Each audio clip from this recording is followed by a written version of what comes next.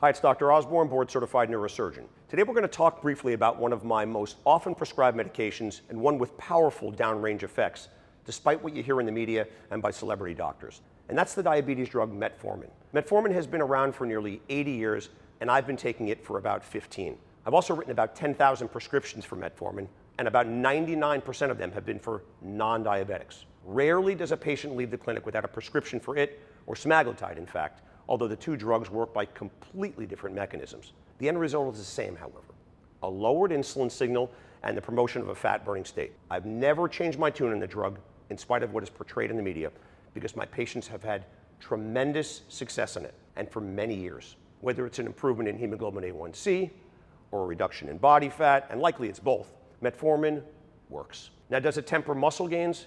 Maybe a little, but I'd sacrifice that any day for better glycemic control and a healthier vascular system by virtue. Ideally, you should be muscular with a lean waistline and have excellent vascular health. These are things we measure in the clinic. So ask your doctor about metformin and see if you're a candidate. Most people tolerate it well, although some have transient GI issues. Rarely do we have to take a patient off the medication, and most see significant improvements within 12 weeks of starting it. Just make sure you take a B complex with it should you opt to take it. In my opinion, metformin is one you shouldn't skip.